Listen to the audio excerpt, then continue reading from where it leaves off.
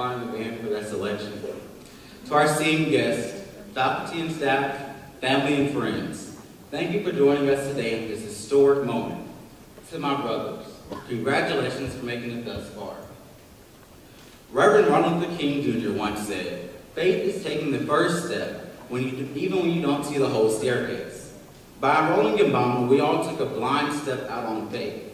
After forceful parents made us apply to BOMLA, multiple, multiple years of hearing the same habits of mind in slightly different ways, and hearing almost every quote we'll ever need in life from Mr. Douglas. Here we are today, soon to be graduates of the first graduating class of the Barack Obama Male Leadership Academy.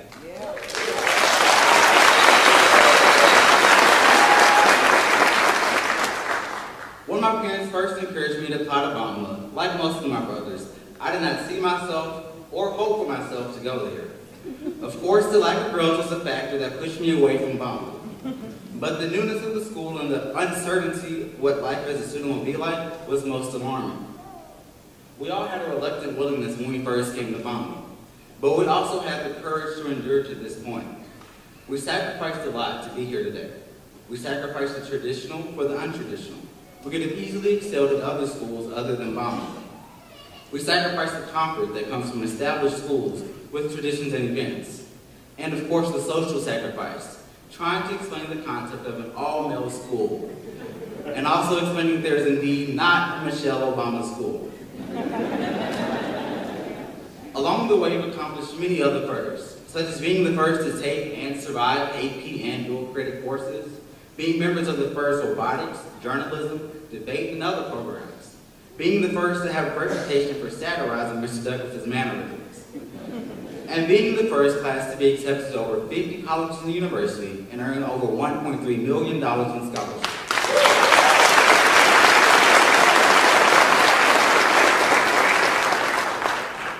To achieve the first that we have, and the first that we'll achieve in the future, it, takes, it will take a, a strong will and courage to move forward in the face of uncertainty. This is not a journey that could have been made by the faint-hearted. Being first comes with an immense amount of pressure and expectations.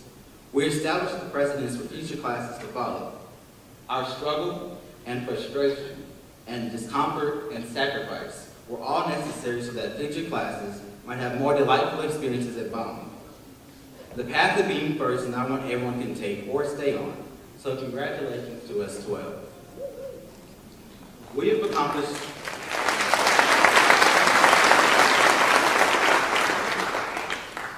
Accomplished great things as a class and persevered through the face of uncertainty. However, we have not made it. We must continue with the same tenacity that we had when we started our journey here. Steve Jobs once said, stay hungry, stay foolish. He was urging individuals to want more, to not be content with one's current standing, continuously strive for better and be better. The journey being the first graduating class was not an easy one, and was not one ventured on alone. There are many individuals and entities who were instrumental in this journey.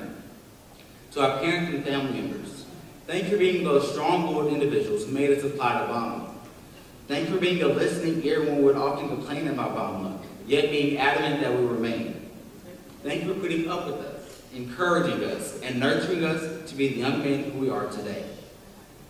To our teachers, thank you for being the root of most of our troubles on this journey for pushing us out of our comfort zone, only to make us better. Thank you for not only being phenomenal teachers, but phenomenal people as well, whom we got to know outside of the classroom.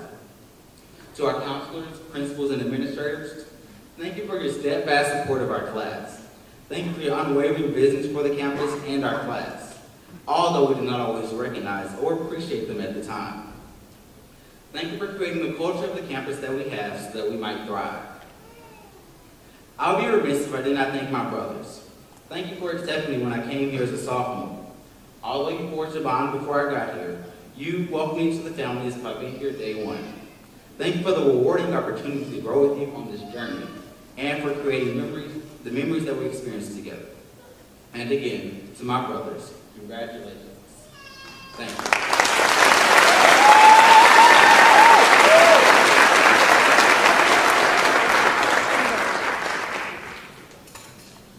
Morning.